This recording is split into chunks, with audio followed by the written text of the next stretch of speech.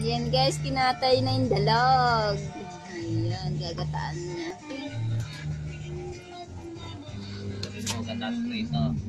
Ayan guys, gata. Lulutuin. Ayun guys, hindi ako nakain yun guys, pero eh, asawa ko ang magluluto. Titikman ko kung anong lasa. Kasi nga, nakain, nakain siya dyan. nakain siya.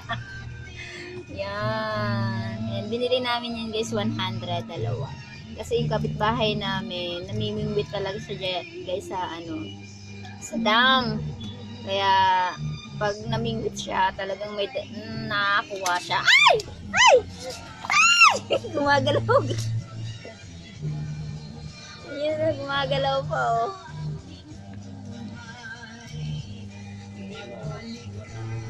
Inano muna namin sa sa tubig kahapon pa siya, nahuli. Para lahat ng kinain niya, mailabas niya. Ayan.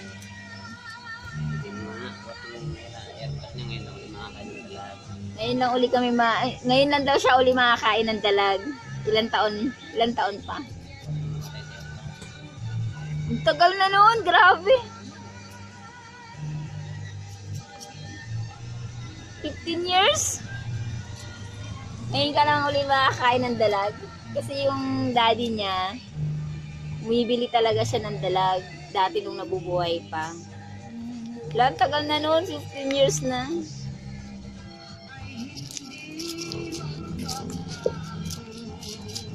Ayan guys, share ko sa inyo kung sino man yung nakain ng dalag. Ayan.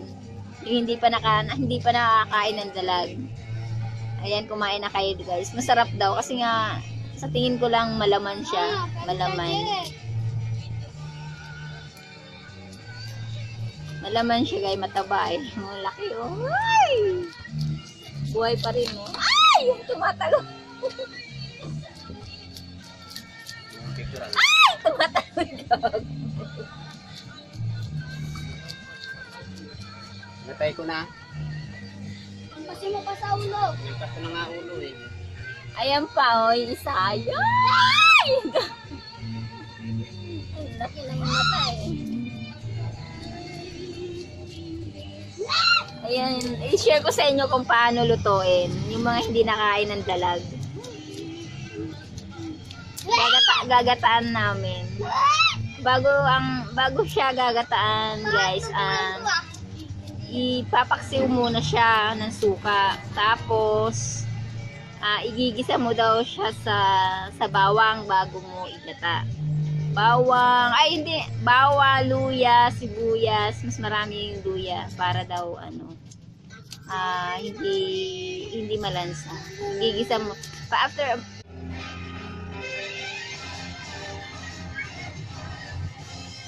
Ayan, tinitingnan ng bunso ko. oh.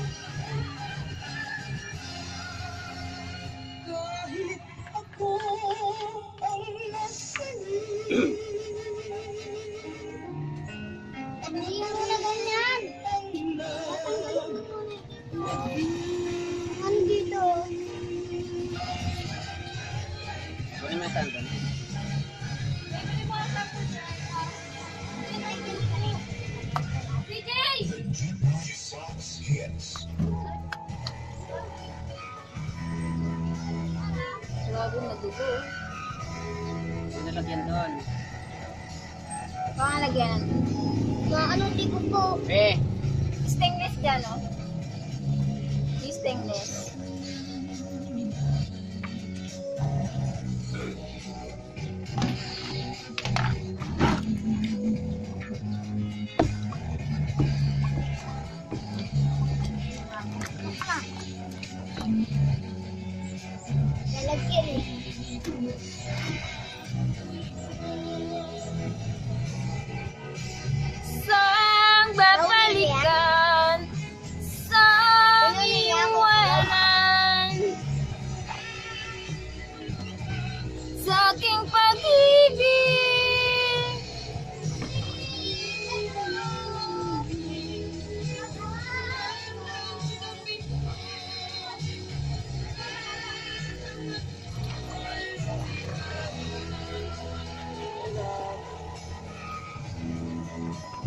Madugol, no? Yan, dadugo masyado.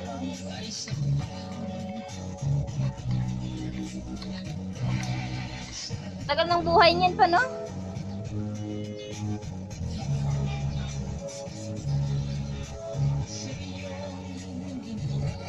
Ayan guys, yung asawa ko. Ayan, siya magluluto niyan. Siya nakakaalam niyan. Malaman talaga pala siya, no?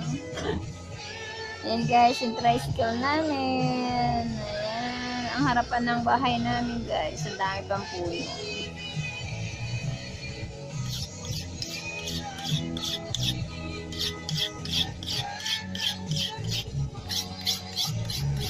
Kakatayin na lang. Ayan guys, so gumagalaw pa yung isa.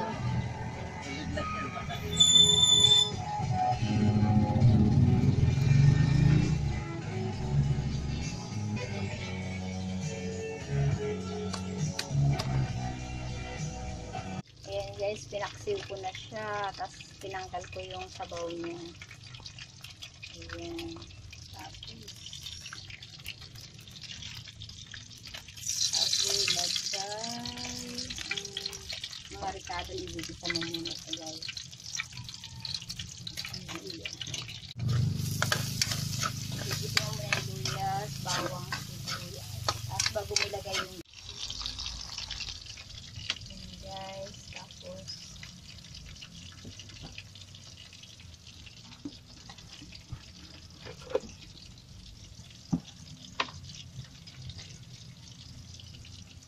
asin. Hmm.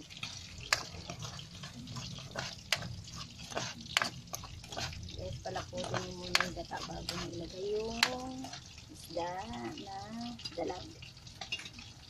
Yan guys, may prito din. Yan. Ito yung pinusang ibagay.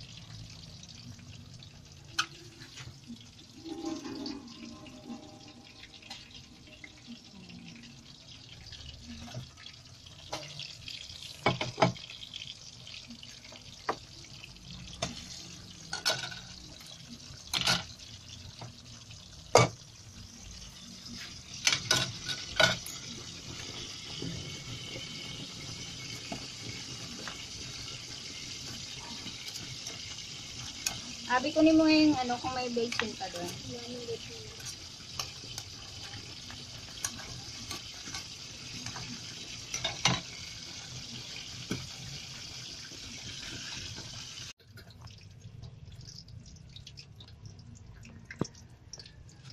Ayan guys, nilagyan ko ng malunggay. Para kahit pa paano may gulay siya.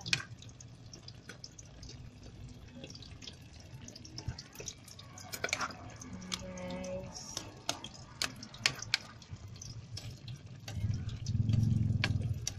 Dang dalag. Ngayon ko lang guys matitikman ito.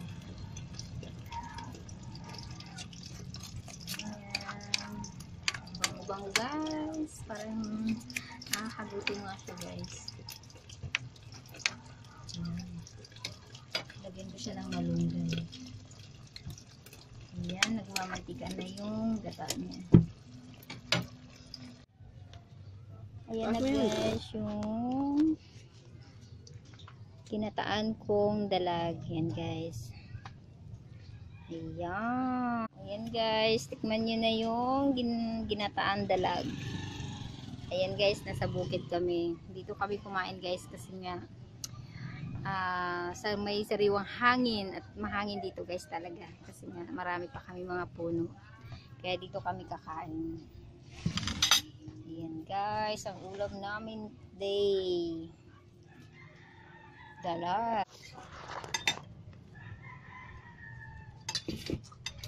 Ayun guys, kain tayo. Ngayon ko lang natikman guys, yung yung ano nga, yung isdang dalag.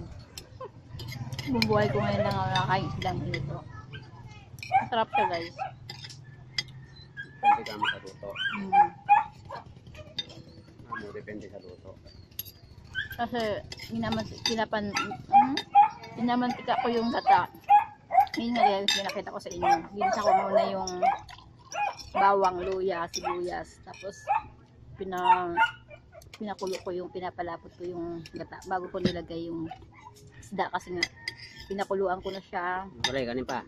Pinugasan ko siya ng suka na may tubig na mainit. Tapos, pinaksiw ko siya guys. Tapos, di yung may sabaw-sabaw pa yung paksiw. Tinapon ko yung natitirang sabaw. Tapos, dinidrain ko siya bago ko siya nilagay sa gata. Kaya, sabi nila rin guys, malansa daw. Pero, hindi ko nalasahan ng malansa. Sobrang linis. Ano bang ginawa ng asawa ko? Talagang nilinis niya na nilinis. Tinanggal yung mga dugo-dugo talaga. Pinakulan pa kami sa ano.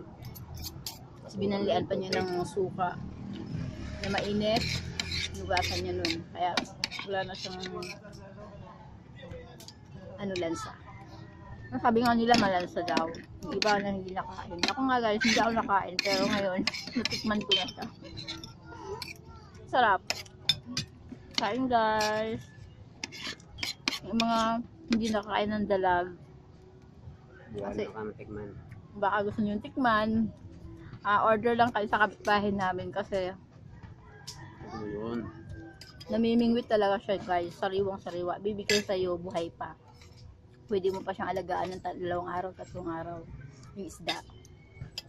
Ayan. Yun nga dyan, nakakaawa pag pinatay na eh. Ayan, kain po tayo. Ayan, si tatay. Kain si tatay. Ay, asawa ko kayo. sarap na sarap oh. Yung lahat kayo kumakain. Oo, ngayon, nagprito sila. And guys, nagprito yung mga anak ko. Gusto